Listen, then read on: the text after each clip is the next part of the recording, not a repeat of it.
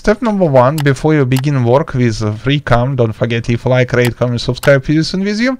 After that, uh, go in options, controls, keybind, scroll down, find the FreeCam. Here we can free option. By default, you can uh, have only one active keybind. Toggle FreeCam by default is uh, F4. But also config, press left mouse button, choose keybind, press left mouse button, choose keybind, press left mouse button, choose keybind. Close, close, close. After, by default, you move your viewpoint when you activate this FreeCam, but if you press Control Player button, now you can move your player, player body as original and not move the view point. You know what I do. Oh my god, it is look like as, uh, I don't know, animation. You know uh, what I talk. Also, if you press config menu, here can find config. Keybind, movement options, uh, fly mode by default it is um, default for FreeCam if you activate this creative it is look like as creative more slow if I press and hold left control I move more fast as in original creative. As you can see I cannot go through the blocks because it is very um, fair play uh, FreeCam seriously. You know because it is Madrid uh, I left default seriously. Here you can change speed horizontal and vertical. Why not by 10 by default is, is uh, only one. It is mean it is fly around as uh, original creative fly speed you know. We I stuck. Ah okay I can see a uh, chunk which I already load so I can explore world only around me. Yeah it is harmful but it is cool. So 10 it is too much for me of course. So change this stuff for original 0 1 why not? After that don't forget always press F and quiet. Now if you activate ignore transparent block you can go for uh, in the free with active FreeCam you can go through the transparent blocks for example through glass. If you activate this option, you can go through the doors, trap doors and gates. I want test. By default you cannot go through the blocks. Now I can go through the, I believe at least, no, no, no, no, no. Yes, I can go through the door. Wow, cool. Or you can go through the specific blocks in FreeCam, custom ignore list, I not understand why. Ah, okay, here ignore ID, you can open these things, and ignore regular expression if you have too much ID, useless.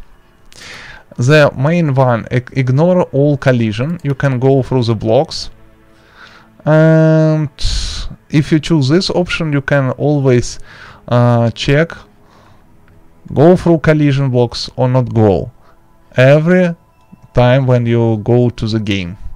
But I ignore this thing because it is always useless my opinion. Now I can go through the blocks as usual.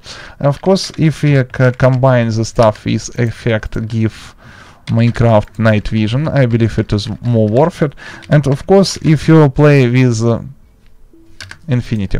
Uh, if you want to go explore the cave system, look around, please deactivate all shaders because yes, they beautiful but useless because they not work properly with night vision always.